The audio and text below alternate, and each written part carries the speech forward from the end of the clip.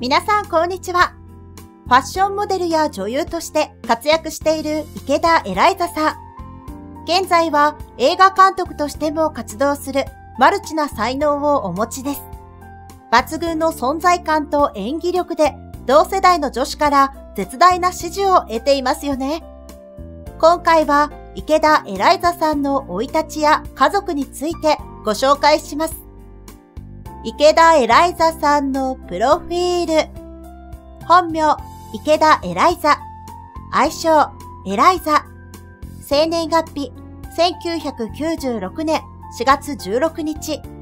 出身地、福岡県福岡市。血液型 B 型。身長170センチ。事務所エバーグリーンエンターテイメント。生い立ち。エライザさんは両親と二人のお兄さんと弟さんの6人兄弟です。名前から想像できますが、エライザさんはハーフで、お母さんがスペイン系のフィリピン人です。出身幼稚園ははっきりしていませんが、バレエを習い始めたのは幼稚園に入ってからだそうで、とにかくバレエに夢中になって練習に没頭している毎日で、髪の毛がボサボサでも気にせずに8時間ぐらいぶっ通して練習していたこともあるそうです。バレエは11歳まで8年間続けています。小学校は、エライザさんは福岡市立貸井東小学校出身で、ファンや地元の方にはすでに周知の事実だそうです。小学生になったエライザさんは、ハーフだったことや男勝りな性格だったことで、周囲から浮いてしまい、いじめを受けてしまいます。エライザさんは、そんないじめから逃げるために、よく図書館に入り浸っていたと言います。本好きなお父さんの影響もあり、読書が大好きになります。家ではお兄さんと一緒にいろいろなゲームで遊ぶようなゲーム三昧な日々を過ごしていました。また身長も高かったそうで、小学校6年生の時には166センチあり、先生よりも背が高かったようです。中学校では、その後、貸井第三中学校に進学したエライザさん。ネットやツイッターなどで情報が多数ありますので、間違いないと思われます。中学生になってもいじめは収まらなかったそうで、エライザさんは、いじめられ自慢は腐るほどある、とつぶやくなどしています。小学生の時からの読書好きは変わらず、図書委員になり、将来は作家を志していました。雑誌ニコラのオーディションでグランプリを獲得し、モデルとなったのもこの中学生の時です。当時は本名である池田エライザという名前で活動していました。モデルになる前は洋服に無頓着でしたが、モデルデビューを機に勉強を始めます。そして中学3年生の時に映画高校デビューで女優デビューを果たしました。高校生活は中学校を卒業したエライザさんは2012年4月に福岡第一高校へ入学し、2014年4月に状況に伴って通信制の高校に編入しています。ちなみに福岡第一高校は第一志望ではなかったそうです。高校時代も変わらず、ファッションモデルや女優として活躍し、多忙な日々を送っていたエライザさん。高校2年生の時に雑誌ニコラを卒業し、キャンキャンの専属モデルになります。ちなみに2016年5月号で山本美月さんと共同で初めて表紙を飾り、2017年2月号で初の単独表紙を飾りました。2018年3月号をもって同志専属モデルを卒業しています。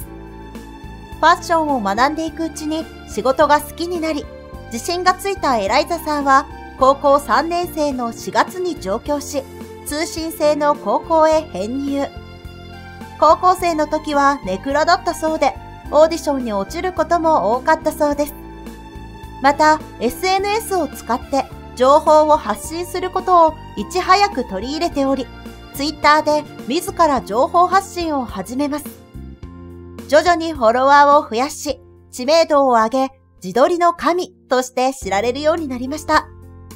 また、高校3年生の時には、クラウドファンティングで約280万円もの資金を集め、モデルブックも販売しています。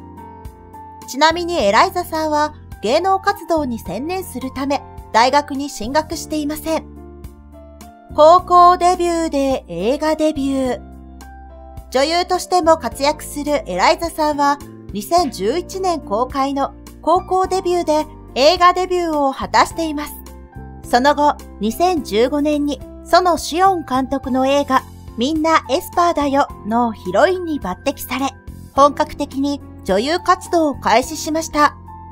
2017年3月31日に FOD でライブストリーミング配信され、同年10月から12月にかけて地上波でも放送されたドラマ、僕はマリの中でヒロイン吉崎マリ役を演じました。また、同年11月公開の一礼してキスで映画初主演を務め、2019年にはリングシリーズの貞子で主演。2019年10月からドラマ左利きのエレンダブル主演でエレンを演じるなど、次々と主演に抜擢され、女優としての活動にも注目が集まっています。さらに2020年に公開された夏至る頃では映画監督に初挑戦しています。ちなみにカメラマンとしても実力があり、2020年には週刊プレイボーイでグラビア撮影を担当したこともあります。お父さんはどんな人？エライザさんのお父さんは九州出身で頑固な性格の持ち主だそうです。いつも厳しく、幼少期には正座させられることも何度かあったと言います。過去にエライザさんの SNS にサングラスをした姿が投稿されましたが、鼻筋がしっかりとしたイケメンであることが分かっています。お父さんはとても愛妻家のようで、お母さんがお弁当を作った際には、愛妻弁当いただきます。と LINE で報告してくるのだとか。エライザさんはそんなお父さんの様子を可愛いと思っているようです。結婚記念日にはエライザさんと3人で USJ に行ったり、両親がエライザさんに会いに行ったりするなど、とても仲良しのようです。いかがでしたか？順風満帆かと思いきや、学生時代は辛い体験をされたようですね。そのような経験があるからこそ、今の池田エライザさんがいるのかもしれません。これからも池田エライザさんに大注目です。